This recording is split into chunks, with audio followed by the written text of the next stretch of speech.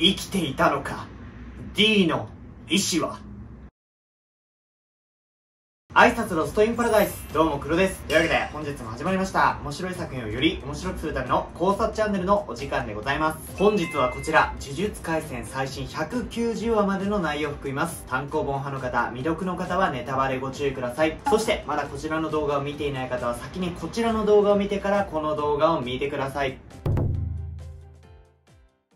第190話を終えて話題になってることがあります。全員直哉再登場するんじゃないかと。その理由がですね、コメント欄でも結構多かったんですけど、この桜島頃に、そこにね、突然入ってきた呪霊、言葉も話してるってことで、まあ、特級クラスの呪霊だとは思うんですけども、こいつがですね、やかましいと。ちょっとね、まあ、やかましいは標準語らしいんですけど、どっちかって言えば関西のイメージが、えー、ある言葉を使ってると。関西の言葉？えー、もししかしてと。で、殺すぞと。あ、口も悪いんですねと。呪術廻戦において、関西弁、そして口が悪いキャラクターといえば、そう、全員直哉。もうこのチャンネルを見てくださってる皆様は今までですね、全員直哉がどのような行いをして、どのようなブーメラン的扱いを受けてきたか、それは散々伝わってると思うんですが、彼がですね、まあ、ちょこちょこ言われているのが、全員直哉は死後、呪いに転じるんじゃないかっていうこと。これはですね、交流会の時に、学願寺が、かも気をつけることはなんじゃ？とか言って、死後呪いに転ずるのを防ぐため、呪術で殺します。みたいなことを言っていました。ただ、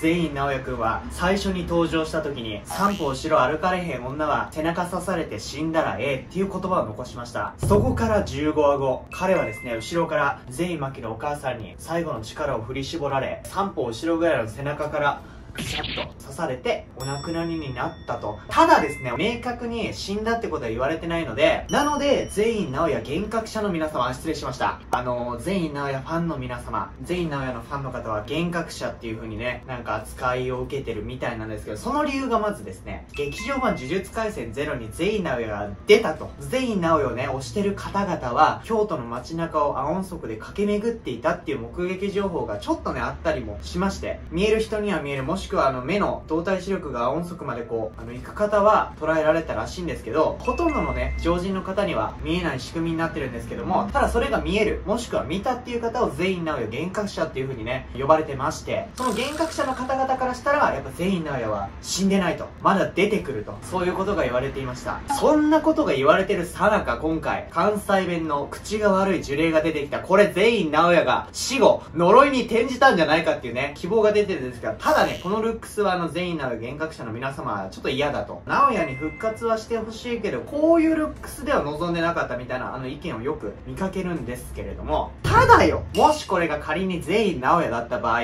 呪いになるの早すぎやしませんかと。疲れ転生早すぎませんかと。あいつどんだけ執着あったのこの世にみたいな。昨日の動画では僕もノリで、あ、全員直哉が呪いに転じたのかもしれませんねみたいな冗談は言ったんですけれども、ただね、割とガチで直哉なんじゃねっていう意見も、まあ冗談かもしれませんが多かったのも事実。そして、呪術廻戦では、未だにね、死後、呪いに転じたキャラクターっていうのが、いないんですよね。こんなに言われてるけれども。その設定が出たのがこちら4巻。交流会前の京都港サイドのミーティング。学願寺が、先の虎杖の死は自死だと聞いておる。敵対術師にとどめを刺すとき、気をつけねばならんことは、かも。死後呪いに転ずることを防ぐために、呪力で殺します。ということで、ここで敵対する術師を殺すときは、呪力で殺さなければ、もしかしたら呪いに転じてしまう可能性があるっていうことが言われましたそうだ他者の呪力でしっかりとどめを刺せば何の問題もない皆様ご存知の通り全員直役はですねこちらの17巻で覚醒した巻に投射呪法を見破られメガトトンパンチを顔面に食らいワンピースのオマージュとも言われてますがベラミーがルフィのパンチを食らったように顔面に手形がつきノックアウト。その後にねなんか屋敷の障子をぶち破って爪が甘いんじゃクソ甘ーと暴言を吐きここであの呪術廻戦切っての名言時世の句。